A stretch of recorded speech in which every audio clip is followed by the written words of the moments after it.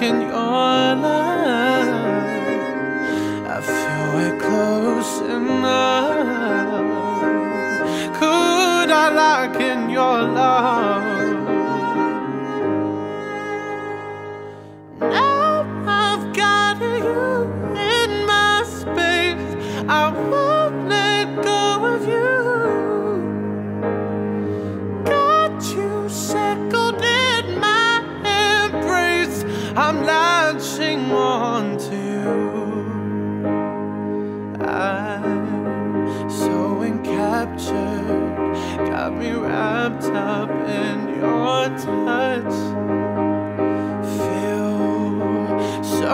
enamored. Hold me tight within your clutch. Zachary Maurice Watt and Blair David, you are about to enter into a union which is most sacred and most serious. A union which was established by God Himself. By it, He gave to man and woman a share in the greatest work of creation the work of the continuation of the human race. And in this way, He sanctified human love and enabled man and woman to help each other live as children of God by sharing a common life under His fatherly care. Because God Himself is thus its author, marriage is of its your very, very holy nature holy. But Christ our Lord added to the holiness of marriage an even deeper meaning and a higher beauty. He referred to the love of marriage to describe his own love for his church, for the people of God whom he redeemed by his own blood. For this reason, his apostle Paul clearly stated that marriage is now and for all time to be considered a great mystery, intimately bound up with the supernatural union of Christ and the church which union is also to be its pattern. This union then is most serious because it will bind you together for life in a relationship so close and so intimate that it will profoundly influence your whole future. The future, with its hope and disappointment, its successes and its failure, its pleasure and its pain, its joys and its sorrow is hidden from your eye. You know all that these elements are mingled in every life and are to be expected in your own. And so, not knowing what is before you, you take each other for better or for worse, for richer and for poorer, in sickness and in health until death. Truly, then, these words are most serious. It is a beautiful tribute to your undoubted faith in each other that you are so willing and ready to pronounce them. And because this word involves such a solemn obligation, it is most fitting that you rest your security of your married life upon the great principle of self sacrifice. And so you begin your married life by the voluntary surrender your own individual lives in the interest of the deeper and wider life which you are to have in common. And whatever sacrifices you may hereafter be required to make to preserve this common life. The Lord God said, It is not good for the man to be alone. I will make a suitable partner for him. So the Lord God formed out of the ground various wild animals and various birds of the air, and he brought them to the man to see what he would call them. Whatever the man called each of them would be its name.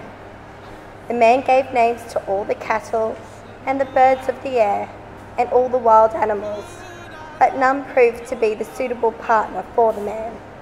So the Lord God cast a deep sleep on the man, and while he was asleep, he took out one of his ribs and closed up its place with flesh. The Lord God then built up into a woman the rib that he had taken from the man. When he brought her to the man, the man said, This one, at last, is bone of my bones and flesh of my flesh. This one shall be called woman, for out of her man this one has been taken. This is why a man leaves his father and mother and clings to his wife, and the two of them become one body. The word of the Lord. The Lord is compassionate to all his creatures. The Lord is gracious and merciful, slow to anger, and of great kindness. The Lord is good to all and compassionate toward all his works.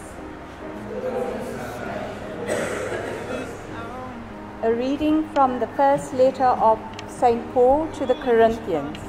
Set your heart on the greater gifts. I will show you the way which surpasses all the others. If I speak with human tongues and angelic as well, but do not have love, I am a noisy gong, a clanging cymbal. If I have the gift of prophecy and with full knowledge comprehend all mysteries, if I have faith great enough to move mountains but not love, I am nothing. If I give everything I have to feed the poor and hand over my body to be burned, but not have not love, I gain nothing. Love is patient, love is kind, love is not jealous, it does not put on airs, it is not snobbish, love is never rude, it is not self seeking, it is not prone to anger, neither does it brood over injuries. Love does not rejoice in what is wrong, but rejoices with the truth. There is not limit to love's forbearance, to its trust, its hope, its power to endure. Love never fails. The word of the Lord. And why you want to marry this girl? So why you want to marry her? And you, you prepare to answer also. The same question will be for you. We're, we're committed to each other. She makes me a better man, and without her, I'd be less of a man. So you are not so good man, so she make you a better man. Why you want to marry this man? There are, in the world there are so many more handsome and better than him. Why, why, why you choose him? Huh? The same, if you tomorrow you don't love him anymore. You find somebody more handsome, better, I don't know. Because it's a covenant from God. That, It is not human idea, not your idea that you married. It is God design in the very beginning that it's not good for man to be alone or for woman to be alone. So it is God's design and put you, not so many girls in the world, more beautiful, better, you know. But this particular woman was created just for you. And this man is created just for you. Is to create a family of saints. That is our Christian commitment. In order to have only physical gymnastics, you know, but there are greater commitment on that. So your answer is valid until now. That I marry her or you marry him because you love him or her. It's valid until now. A few minutes after this, this answer is not valid anymore. It should be reversed. Because I marry you, so I love you. So I understand you. So I forgive you. So I have compassion on you. Because I marry you. I did not marry other women or other women, so I cannot love them. Okay? Your only love is here. And this marriage is last forever, cannot be break out, cannot be divorced. So by hook or by crook, I will love you for better or for worse, for richer or poorer, for good health or for in sickness and so forth and so on until the end of your life. That will be your vow. So the reason that I love her, I cannot love her as you love her. Because you married to her, I did not marry to her. Right? Right?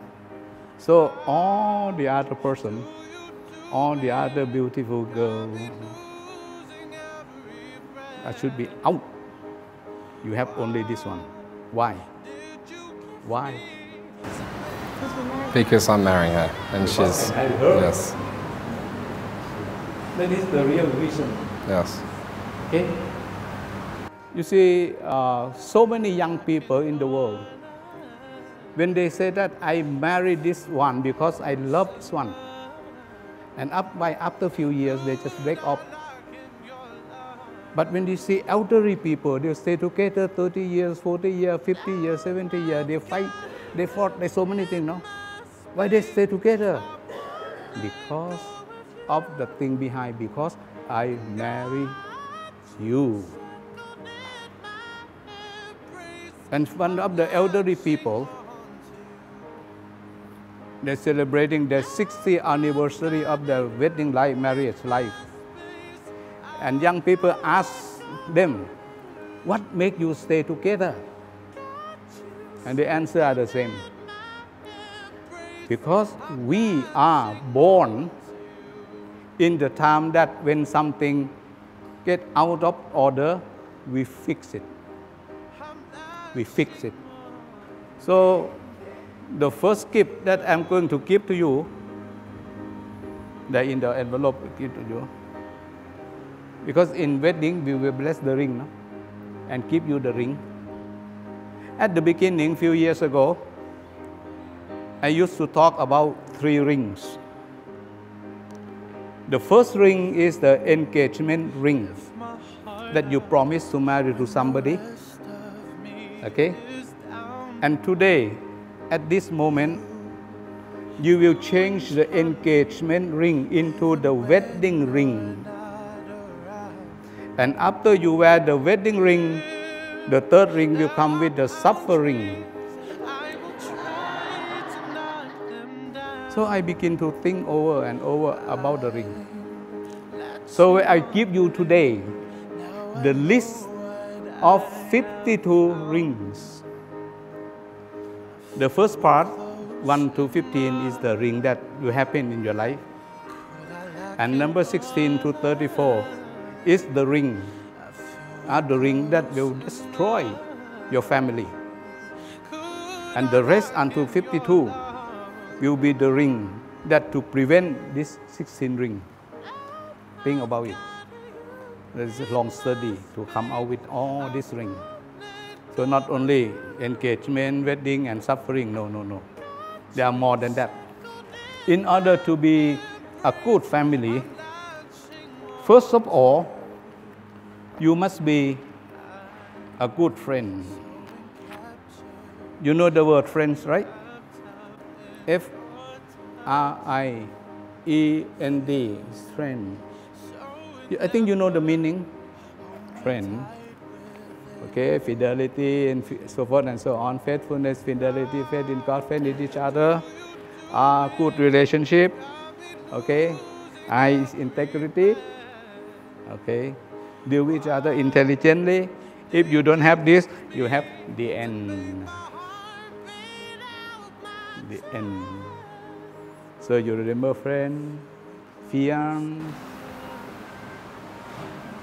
Wellness. wellness, and what else? Fat. Wellness and fat. fat. Go and get fat. I like a challenge. That's Huh? so good. So this is the just simple way, simple instruction, simple sharing uh, to give to you, so that you will have a better wedding life. Okay. So with all of this,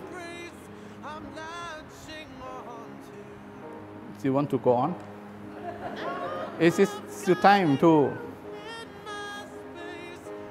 Yes, if it is yes, so please stand up. My dear friends, you have come together in this church so that the Lord may seal and strengthen you, strengthen your love in the presence of the church minister and this community. Christ abundantly blessed this love. He has already consecrated you in baptism, and now He enriched and strengthen you by a special sacrament so that you may assume the duty of marriage in mutual and lasting fidelity. And so, in the presence of the church, I ask you to state your intention. Zachary Maurice Watts and Blair David, you have come here freely and without reservation to give yourself to each other in marriage. I have. I have. Will you love and honor each other as man and wife for the rest of your lives? We will. We will. Will you accept children lovingly from God and bring them up according to the law of Christ and His church? I will. Since it is your intention to enter marriage, join your right hand and declare your consent before God and the church. I, Zachary Maurice Watts, take you, Blair Davids, to be my wife. I promise to be true to you in good times and in bad, and in sickness and in health. I promise to love you and honour you for all the days of our lives. I, Blair Davids, take you, Zachary Maurice Watts, to be my husband. I promise to be true to you in good times and in bad, in sickness and in health. I will love you and honor you all the days of my life.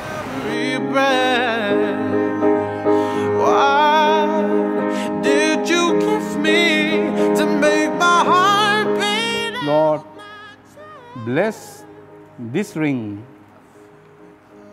which we bless in your name. Grant that those who wear them may always have a deep faith in each other. May they do your will and always love, live together in peace, goodwill, and love.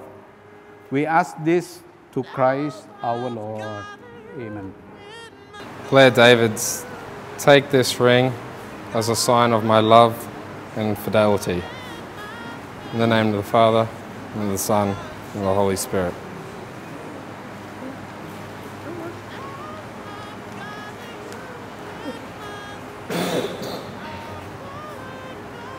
Zachary Maurice Watts, take this ring as a sign of my love and fidelity. In the name of the Father, and the Son, and the Holy Spirit. Amen.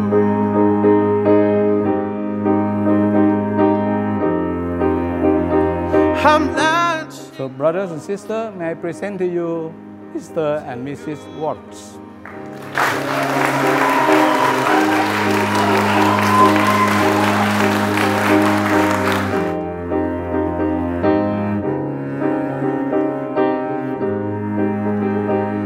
You lift my heart up. Blessed are you, Lord God of all creation.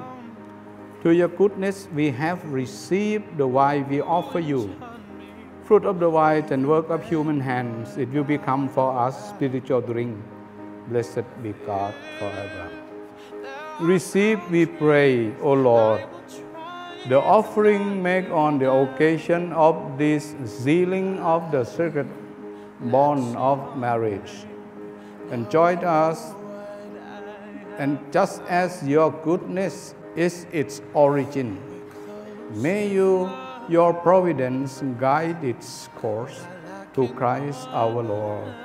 Amen. The Lord be with you. Lift up your hearts. Let us give thanks to the Lord our God.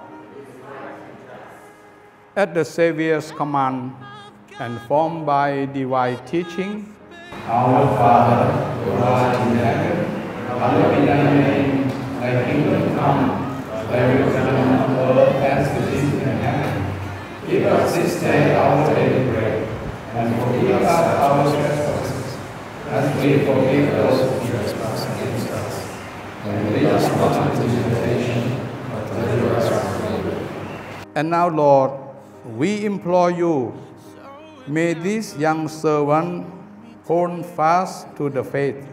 and keep your commandments. Make one in the flesh. May they be blameless in all they do and with the strength in come from the gospel. May they bear true witness to Christ before all. May they be blessed with children and prove themselves virtuous parents who live to see their children children. And grant that reaching the last at last together the fullness of years for which they hope they may come to the lives of the blessed in the kingdom of heaven to Christ our Lord. Amen.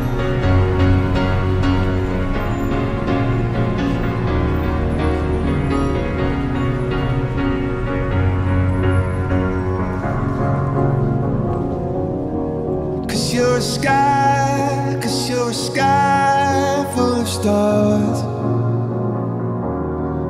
I'm gonna give you my heart.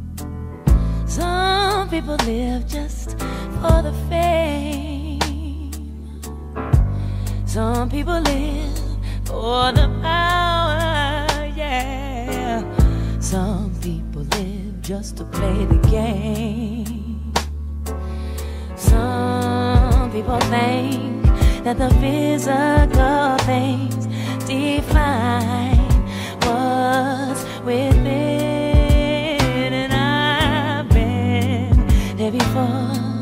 But that life's a bore, so full of the superficial.